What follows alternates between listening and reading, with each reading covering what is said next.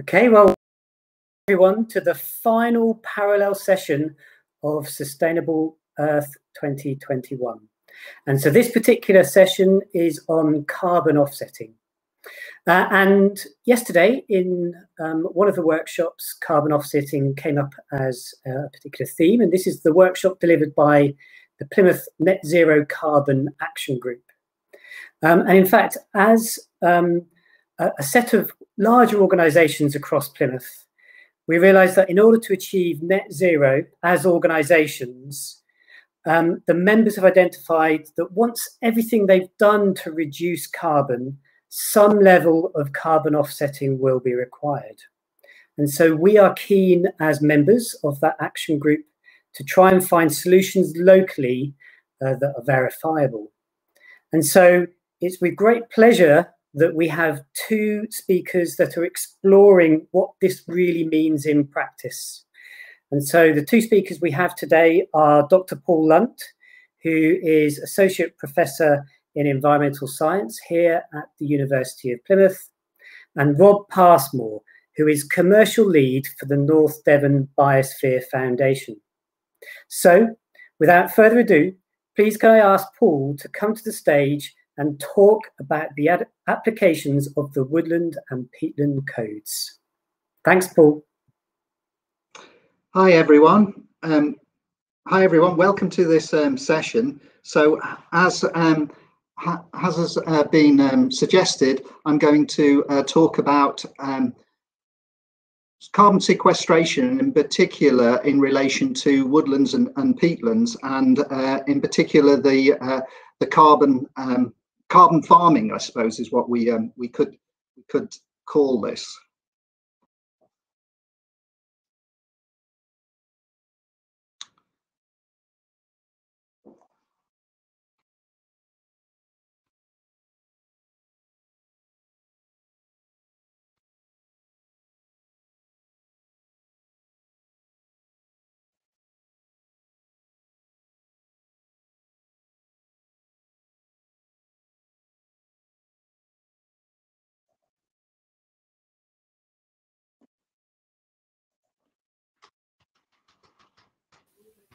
Paul, would you like me to share your presentation for you? Um, I think I'm okay. I just had a little bit of technical issue there. Providing we're um, providing this is um, allowing me to um, to move on.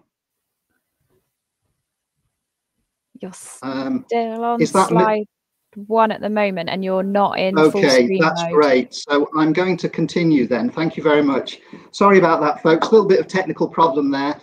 So um, basically, I'm just going to I'm going to take you on a, a journey from um, global to um, to local. So we're going to have a, a, chat about global levels of carbon sequestration and um, rates of carbon uptake by um, by woodlands. And um, I'm going to give you a, a quick overview of the of the woodland carbon code, and then move on to talking about release of carbon from our peatlands, which is a major issue both globally and in the UK.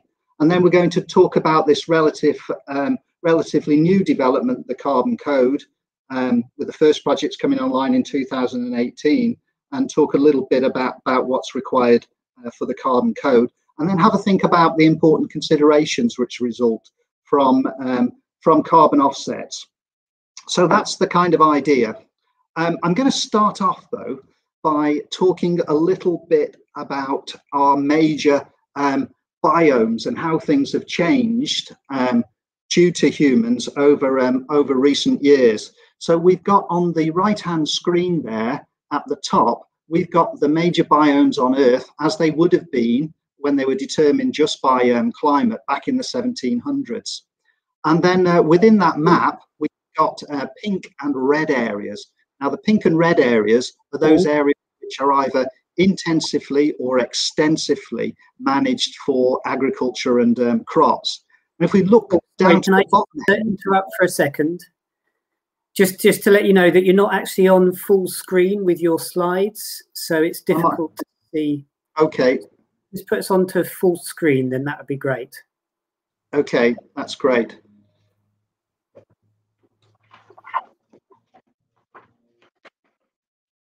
So we've got down at the bottom end of the, the um, right-hand corner there, um, the Earth or the biomes as they appear now. Now, 30% of our um, carbon that's been released in total uh, into the atmosphere has come from land use change. So forest clearance and drainage of wetlands in, um, in particular. So you can see in the New World in the Americas, we've got um, lots of the red and the pink area there where we've got extensive drainage of wetlands through into um, Europe and uh, Southeast Asia and Australia, lots of the kind of uh, uh, pink and, um, and red areas there. So representing a major change, we've effectively changed the vegetation makeup of our um, planet and altered that uh, carbon sequestration. Now over on the right hand, over on the left hand side of the screen, you can see the iconic uh, Alan Keeling curve. So this is a curve that goes back to 1957 and shows atmospheric CO2 levels and how they've increased over the um, over the decades up until um, present time. So going from less than 300 uh, parts per million up to over 100 and, uh, 410 parts per million uh, present day. When I first saw this as an undergraduate in as an environmental biology undergraduate, I was actually blown away, not by the fact that we were um, changing the Earth's atmospheric concentrations at that time, um, but more by the fact that um, because at that particular time, the 1980s, uh, uh, climate change wasn't a concern. But what really impressed me is when I looked at this little curve on the um, top left-hand corner here. So this shows uh, the uh, annual changes in CO2 in the atmosphere at Mauna Loa, this site uh, where Alan Keeling has, has recorded on uh, in Hawaii, and it shows the um, first bit of the curve basically shows the um, the inward or sorry the outward um, respiring of carbon back to the atmosphere from our biosphere and from our um, soils so it's kind of like the the outward breath of um, of um, planet earth. And then when you've got the summer um, and spring and summer periods we get uptake of carbon from the atmosphere in the process of photosynthesis and drawdown of that carbon uh, back into to the um, into the plant and, and biosphere. This exchange annually on planet Earth represents about 120 or so gigatons. Now, 120 gigatons, difficult to, to visualize that, but that's about 15% of the atmospheric CO2 concentrations that are exchanged each year on planet Earth through the process of photosynthesis. A, a massive amount, a staggering amount, um, and it really did show me uh, the connectiveness between the biosphere and the atmosphere at that particular time. Um, so in terms of the global importance of woodlands and peatlands for carbon sequestration, uh, globally, forests absorb about 16 billion metric tons of CO2 uh, per year, uh, providing a carbon sink that absorbs about or a net carbon sink of about um, 7.6 billion metric tons.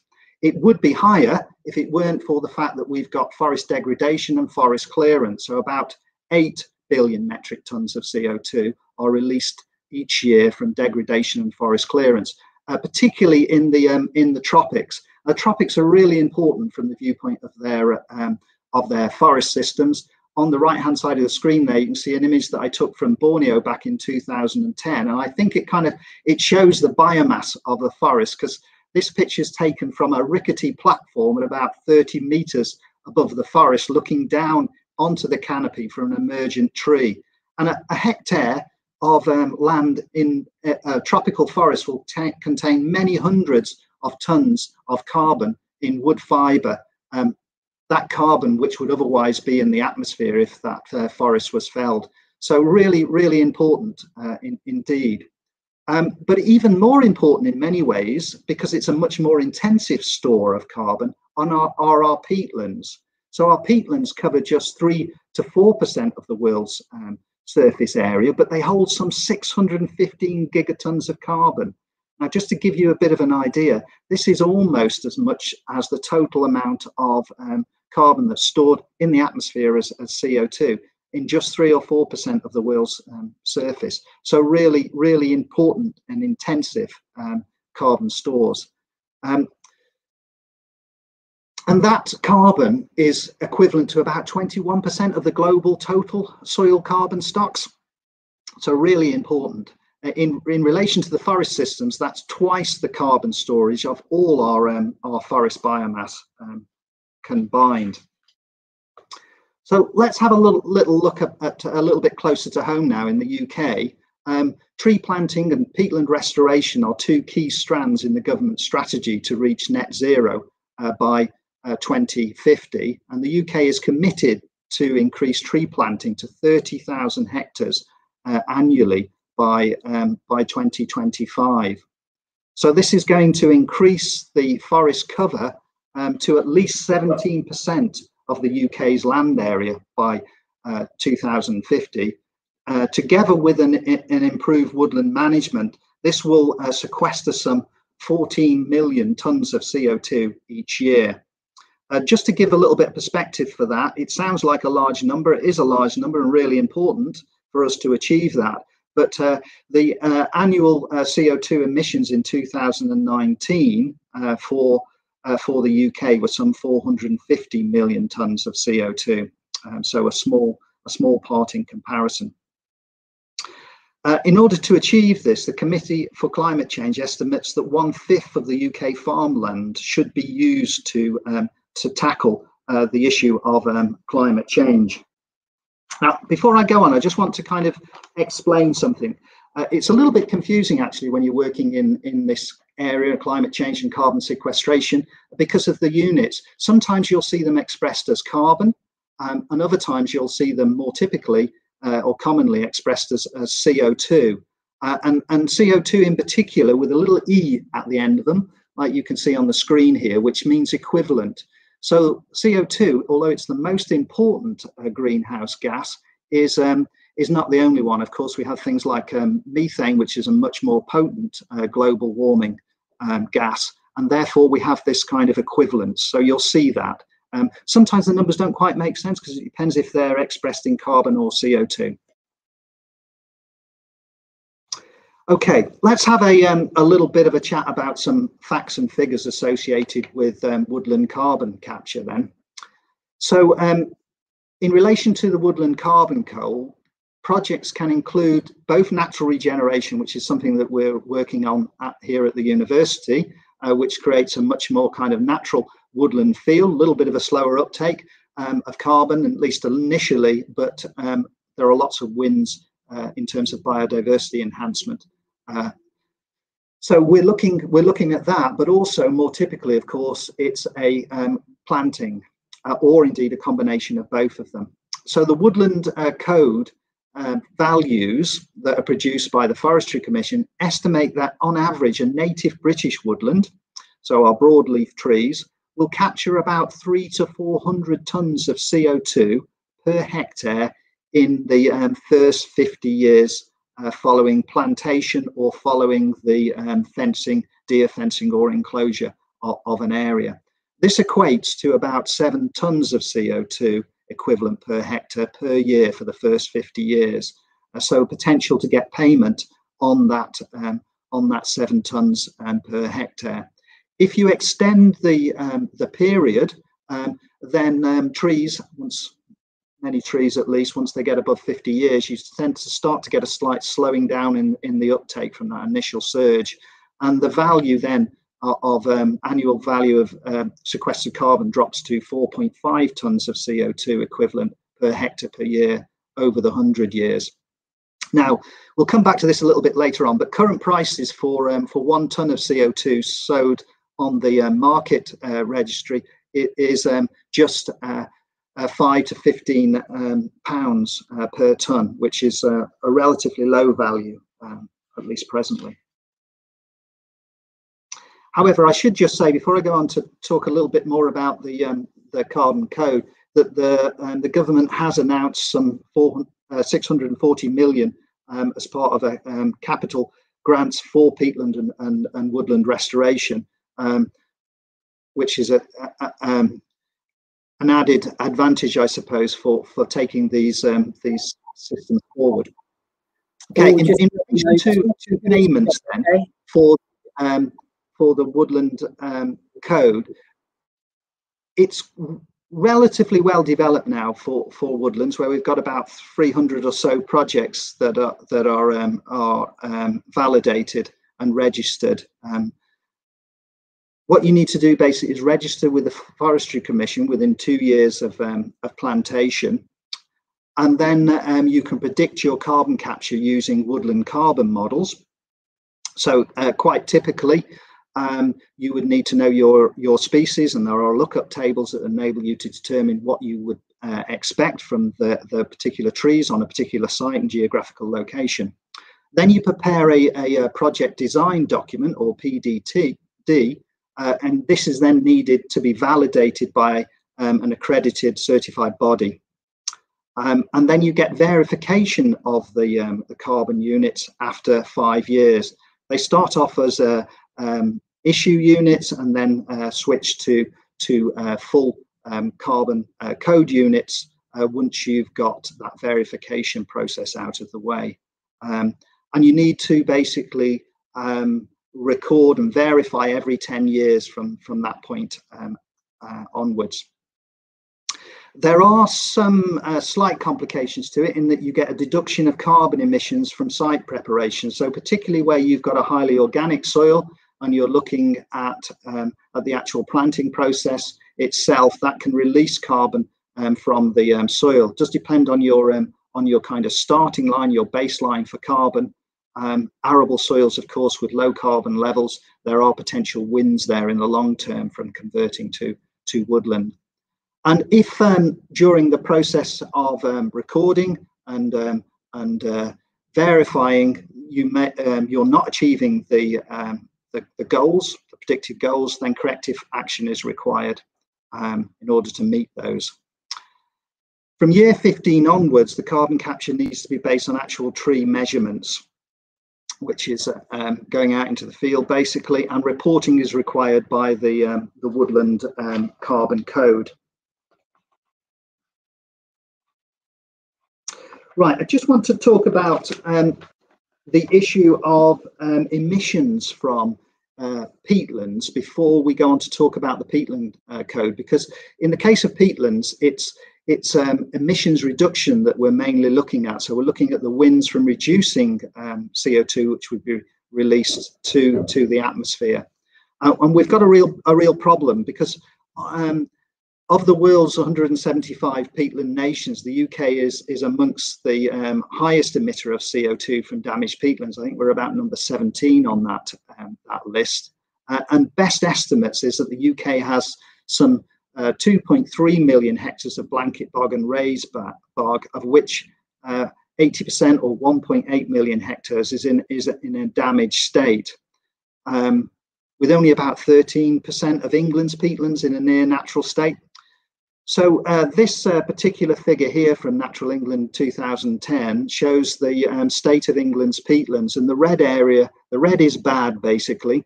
So the reds are areas where we can expect um, emissions of carbon to the atmosphere. The greens are where there is um, there is uh, peatlands in a fairly good condition. And this takes into account not only the upland blanket bog uh, peatlands, but also the lowland uh, fen systems in places like East Anglia and Somerset. You can see here in in um, in Dartmoor in the southwest, uh, Dartmoor's in a relatively good condition with quite a lot of the green showing there. But in total, England's peatlands are estimated to emit about 11 million tons of CO2 um, per year, um, which is a real issue. 30 seconds. So what can we do? What can we do to um, to fix this problem? Well, peatland restoration measures such as the blocking of um, drainage ditches. A lot of the emissions are where we've got blocked drainage emission, uh, ditches and um, an oxygen infiltration into the surface of the peat causing oxidation. Uh, we've got restoration of gully erosion, as shown in the picture there, where we've got bare eroding peat in a um, in a in, in, one of the dendritic, one of the drainage channels, which is uh, releasing um, peat further down in, into the catchment. Uh, reprofiling of hags, where we've got standing areas of, of peat with bare sides, which are um, eroding. Um, We can do um, seeding of mire species onto bare peat areas. You can see some of this going on here in the cotton grass behind the, um, the wooden blocks in this particular gully, or indeed where we've got the absence of sphagnum or bog moss, we can look at the reintroduction of, um, sphagnum onto the um, bare peat to turn these peatlands from what are um, quite often sources of greenhouse gases to, um, to sinks. And then we need to be thinking about appropriate management. So the emissions um, inventory suggests that about 150,000 hectares of peat have so far been restored in the UK out of a target of, of some um, 2 million uh, hectares by, by um, 2040. So in relation to the peatland code, it's a little bit more complicated and under development, but the government's aim is, is to have a registry, the same registry, the Markit registry for both um, woodlands and, and peatland systems. Um, so the project needs to be registered and then we need a um, site survey to work out um, the condition of the site and then the completion of the peatland code uh, documentation. Require external val validation to ensure that Hi, there's uh, compliance code. You, and also um, then uh, you can secure funding and start the um, the actual restoration activity. And similar to, to the woodland uh, carbon code, verification of carbon savings after five years and every 10 years from thereafter. But the actual uh, documentation can be quite involved, particularly the, the condition assessments, uh, which need to be carried out in the ground with mapping of areas which are eroding, eroding and bare peat areas, and drainage ditches and channels and etc which unfortunately is, is um, often quite involved for, for at least for farmers to carry that out. Paul, um, Paul, can you can you hear me? Yes. Um, I'm afraid that's your time pretty much up. So I'm going to bring Paul back onto the screen as well to join you. Okay, that's fine. Bit of a rocky start there. That's fine, Paul. Um, no problem. Um, thanks ever so much for that. And um, I don't, don't know if you want to just kind of wrap up in terms of um, just just where you are now, and then and then we'll move on to Rob. Is that okay? Yeah, that's fine. I mean, uh, one of the things that I was going to talk about is the fact that um, um, there are problems with this system. It's in the kind of development stage. Uh, we shouldn't be using offsets as a um, as a uh, as a justification. They need to be um, part of the suite that, of, um, of solutions that we're we're um, we're looking at, and we need some uh, easier ways of actually, particularly for the peatlands, of identifying the amounts of carbon loss. That's great. Thanks ever so much. And, and you'll be pleased to see, Paul, that we've had um, a whole host of questions for you. Um, so we'll try and squeeze those in at the end. So thanks ever so much for that. Um, and so now we're going to move straight on to uh, the next presentation. Um, so Rob, can I uh, ask you to come to the stage, please? Thanks, Thank Paul. You very much. Afternoon, everybody. Um, my name's Rob Passmore. I am the commercial lead at the North Devon Biosphere. Um, and I want to talk to you this afternoon a little bit about two initiatives specifically that we're we're looking to launch. Uh, one, the Natural Capital Impact Fund, and a natural capital marketplace as well, um, which we'll talk through. But first, I wanted to just give a little bit of information about the UNESCO biosphere, as it can um, it can be confused with biomes from the Eden Project um, and and other things as well. So um, the UNESCO Biosphere is a designation from the United Nations. Um, it marks uh, an ecosystem or a habitat that has uh, a unique and special characteristic that should be um, preserved. Um, there are over 700 um, reserves around the world. Um, they include the Hawaiian Islands, the Serengeti, and together the network makes up over 5% of the Earth's uh, total surface. Um, zooming into Devon, uh, North Devon um, has a UNESCO World Biosphere Reserve. It is the first and one of only three biospheres in England, um, and it covers 30% of Devon. Uh, so it touches both of our national parks. Uh, it's down past Okehampton and 12 miles out past Lundy as well. Um, a land-based and a marine uh, biosphere reserve. Um, we've been fortunate enough to host two of the four pioneer programs that were central to the development of uh, the government's 25 year environment plan, uh, one focused on land and one on the marine context. Um, and through that and a lot of other uh, research work, um, you know, we are becoming uh, nationally recognized um, as an area with a specialism in natural capital. Um, the Biosphere Foundation um, is a charity and a CIC um, that is associated with the Biosphere Reserve, and this is the mission of the foundation. So, what we're trying to do is to create an economy uh, that is based on natural capital, generating over 20% of the Southwest GDP by creating, testing, scaling, and sharing new innovative economic models that not only uh, deliver significant environment uh, benefit, but also um, uh, social benefits as well.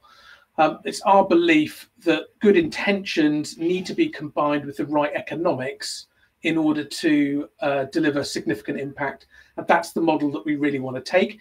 Uh, we view the biosphere very much as the epicenter for the work that we do rather than being a limitation for it. All of the work that we do is science based, um, and we've got good relationships with Plymouth, um, Exeter, and other universities. Um, and um, yeah, it's a test bed. So what we're trying to do is discover models and then roll them out um, into into other areas. Um, so I'll do a bit of good news, bad news before looking at the solutions that we've come up with just to frame the situation as we see it. So we see the good news, the government's commitment to, to net zero by 2050 is a very um, positive policy indicator. Um, over 50% of the FTSE 100 have also now put corporate net zero targets in um, on or before 2050. Um, the ESG investment market, ESG stands for environmental, societal, and, go- and governance, uh, but it's sustainable and it, um, ethical investment market is is is really changing now, um, with a lot of pension funds and other organisations migrating away from fossil fuels towards investments that have um, a uh, an environmental or social benefit associated with them uh, which is a very positive uh, development. Um, the COVID response has highlighted that we are able to change rapidly uh, when faced with um, significant problems, which I think should encourage us coming into the scale of change that needs to happen with regards to the climate. And there's a significant opportunity here for job creation. Um, and this is something that I think is really relevant for the Southwest. Um, in terms of the bad news, um, we've got to stick to 1.5 degrees maximum growth, which means significant greenhouse gas, uh, not only reductions, but also sequestering. So capturing it back out of the environment, um, out of the atmosphere to do that. 20 uh, or the 2020s is very much the uh, decade for action. Uh, many are saying 50% needs to be done by 2030. I would actually say it's, um, as I know others have too, closer to 75% that needs to be done by 2030. Um, and um, those are the easy yards. Um, it'll be the decade after that that will be hard when we're uh, really looking around for how we can bring the remaining down to a net zero. Um, and we're currently off plan. So the shaded area on this chart highlights um, the curve that the UK should be on, and this is from the um, Committee on Climate Change, um, all parliamentary committee, um, and it highlights that we, we're, we're not changing fast enough, um, and highlights the urgency that is needed not only from government but also from NGOs and the private sector too. Um, in terms of nature, this is the, the, second area I think that's really struggling at the moment. Whilst 50% of the world's economic output depends on nature, nearly 80% of species are threatened. Um, and it's really at the kind of nexus of um, climate and, and, and nature um, that these problems are existing. So, you know, where we damage one, we damage the other uh, more often than not. And where we address one, quite often, if we're doing it through nature-based solutions, we address the other um, as well. Um, and the last um, problem before we can turn the corner and start looking at some solutions is, is economic problems. Um, there is significant supply side issues with investment coming into nature-based projects. Uh, what I mean by that is there's a lot of interest from large um, organizations such as HSBC, Barclays, Triodos, Aviva, and others who have funds to invest in nature-based pro uh, projects, but they are blocked currently because of these problems. Um, a lack of aggregation of projects up to an investment scale, high bespoke one-off projects um, and transaction costs. Um, there's weak first mover advantage, advantages in the market at the moment to incentivize entrepreneurialism. Um, and there's a lack of models to um, to replicate um, through what's what's going on uh, within the southwest. There's you know there's a real problem where we're surrounded by such environmental beauty and wealth. Um, sorry, I don't know why it keeps flicking on to the next slide. Um, uh, yeah, there's a lot of environmental richness um, that's surrounded by us, but that really hasn't translated into uh, community wealth. Um, and we've got some of the worst social mobility figures in, in the UK um, through that. So it would be good if we could find a way to sustainably unlock that um, and create more community wealth for our, our residents.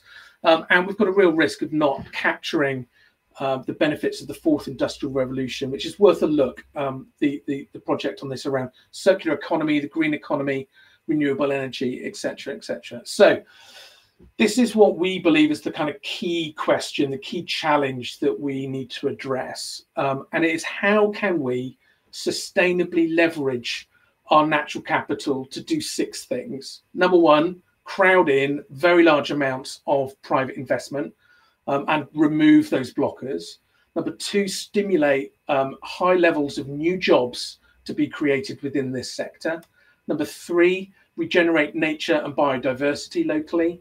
Number four, sequester significant amounts of carbon through new natural programs. Five, relocalize our communities through self-financing economic models that re-empowers local communities. Um, and number six creates replicatable models that can be pushed out elsewhere um, and pushed around um, to other areas. So our view is yes, we can do that by by launching three programs, and these are the three programs the Biosphere Foundation is in the process of bringing to market. They they largely fit three things. Number one, funding new projects. Number two, placing those funds into the projects themselves, and number three, measuring the outputs of those of those projects too. Sorry, someone someone clicking next on the. I, I, I seem to be kind of someone someone else seems to be driving the presentation. No? Okay, good. Um, so if I just look at sorry, technical issues here too. Um, if I hang on. Kate, is that is something going on here with with remote control of the, the presentation because I'm not pressing buttons? No, you're you're fully sharing at your end, so it's nothing I'm doing, I'm afraid. Okay, I might just drop out of screen share to just show it like this then at that point. Okay. Yeah, very strange. Sorry. Okay, so um, the impact fund. So this is the structure of the impact fund. So the Biosphere is in the process of launching a new 50 million pound private investment impact fund. Um, we are uh, looking to launch this to um, investment markets in May 2022. Um, it's a blended fund, which means it combines part public funding and part um, uh, private funding. Uh, and those funds will be exclusively focused on nature-based projects um, and investing into those projects across three different areas. Um, Five million will be um, earmarked for innovation funding. Uh, uh, 40 million will be earmarked for scaling proven models that are generated. 5 million for replicating um, and share knowledge sharing the models elsewhere. Uh, we've got two technical advisors that are really best in class um, within the UK, Investing for Good, who is going to uh, provide uh, fund management uh, technical expertise for us. Um, they're a leader in social impact investment. And Vivid Economics, who supported the Dasgupta review uh, on biodiversity um, and is um, a, a, subsidiary of McKinsey Consulting. Um, it's going to be investing across six different areas, ranging from forest, oceans, land, habitat, climate, and catchments. And the aim is that it creates um, natural capital assets which generate public goods, um, but also uh, outcomes such as carbon offsets, biodiversity offsets that can be marketed and sold to generate a return on the fund um, itself. Um, I'm going to try if I can go full screen on this one again, just because the next screen does kind of show it. No, it's very, I don't know why, it's just like a key is pressed all the way through. Um, the, the, marketplace um, is, uh, sorry, in terms of the status of this, so we're, uh, we've secured funding for the initial work um, and we've got a number of additional um, elements of funding to get to investment readiness, uh, both through um, the Environment Agency and Devon County Council that we're currently open for. Uh, the marketplace, um, we've secured funding from the Environment Agency to support development over the first two years of this project, and we're due to be launching this publicly in the next six weeks. Um, the marketplace really is a way to place project funds into initiatives um, uh, out with landowners um, and through delivery partners. So we're working with uh, both national parks with this, Devon Wildlife Trust, Westcountry Rivers Trust, to implement um, these projects. We provide the project funding for them in exchange for the stacked ecosystem outcomes. So, for example, it could be a woodland creation that generates carbon offsets, biochar, and um, biodiversity net gain um, offsets, um, which are then brought back into the fund and are validated against the standards that Paul was talking about. So, the Woodland Code, Peatland Code, um, and the likes. To create products that can then be marketed and sold to uh, customers. Um, and it's through that that transaction cycle that then creates um, the revenue for for for that. Um, in terms of the standards um, and the asset classes that we're looking at, um, we talked about Paul talked about the Woodland Code and the Peatland Code. Those are established, if not emerging, standards, um, but there are others that are starting to appear as well. Um, and what we're looking to do is work based on science and third party uh, validation. But this is a moving feast and things are developing quite fast. So there's emerging standards for uh, salt marsh, for example. Uh, there's some blue carbon initiatives that are going on as well to validate that. Um, and Gold Standard, a US organization, is looking um, or has launched a um, methodology framework for soil carbon um, as well quick look at the um, uh, what the site will look like, just to give you a, an idea. It kind of, it, you know, we're, we're, leveraging the SDGs, the Sustainable Development Goals, through the relationship with the with the United Nations. It highlights the asset classes that can be purchased um, and the uh, the code that it's been validated um, against. And as I say, we're working with established asset classes like carbon offsets and emerging um, asset classes like kilometers of river restoration um, uh, with the Environment Agency and, and others. Um, last, uh, two minutes to go, okay? That's fine. Yeah, lovely. Um, so one last project. It's really important to ensure that we get strong monitoring, reporting, and verification of outcomes. Uh, we've got another project, the third project called the Smart Biosphere, which is funded by um, Heart the Southwest and Southwest Water uh, to help uh, leverage technology and really digital twin technology and uh, Earth observation to help to validate outcomes from these kind of programs. Um, this project is underway and we're due to launch um, the applications and a network at a catchment scale in Northern Devon um, this financial year.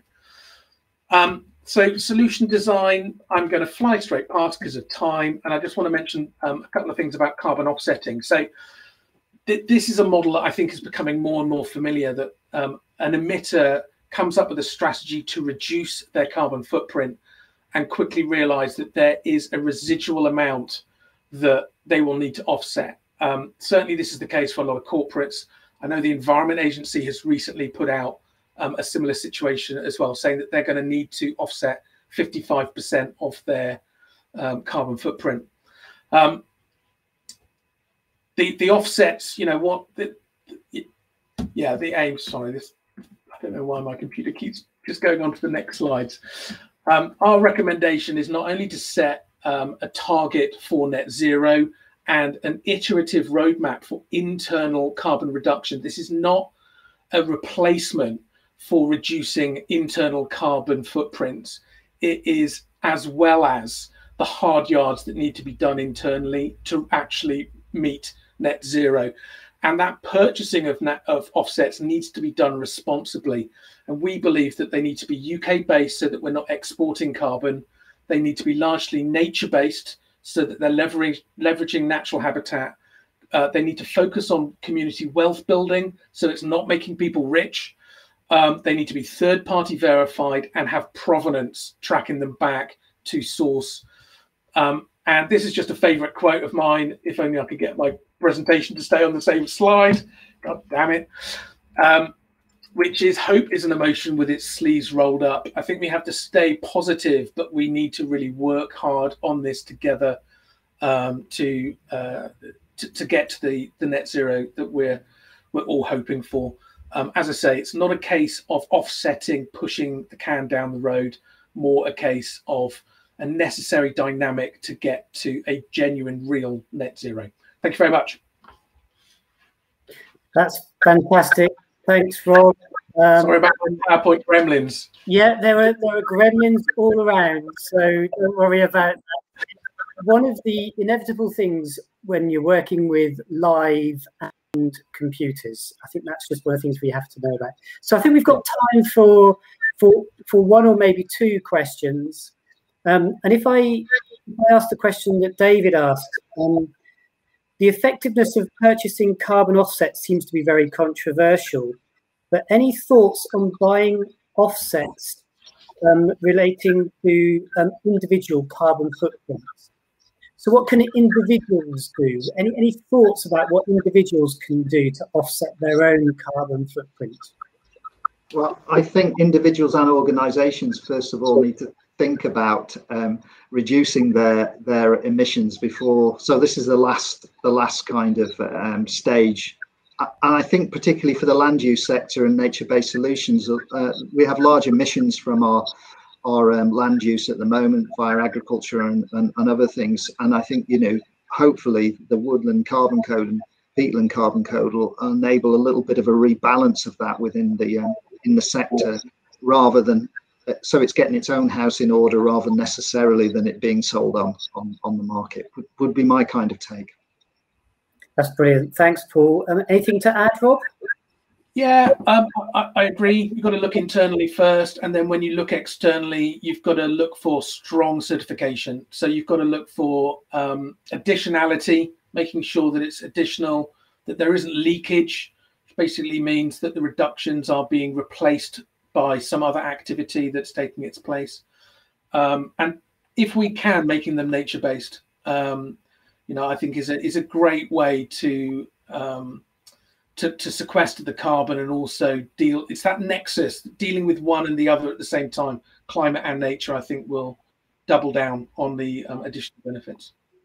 That's brilliant. And apologies everyone that uh, we, we've got a huge number of different questions and things and sorry we, we've run out of time um, but please do carry on the kind of conversations and discussion on the discussion board um, which you'll find on the homepage okay so thanks ever so much to, rob and paul for their presentations and we now have a break um, and the marketplace sessions start at 10 past 2 so please um, make your have a, grab a cup of tea and then make your way to the marketplace testing. Thanks ever so much.